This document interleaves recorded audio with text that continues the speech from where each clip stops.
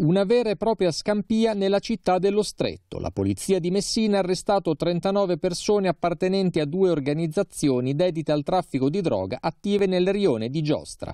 Il quartiere era diventato teatro di una guerra tra due clan per affermare il proprio controllo sul mercato degli stupefacenti. Le indagini, condotte dalla squadra mobile e coordinate dalla Direzione distrettuale antimafia di Messina, hanno consentito di far luce su alcuni tentati omicidi a colpi d'arma da fuoco avvenuti fra il 2016 e il 2017.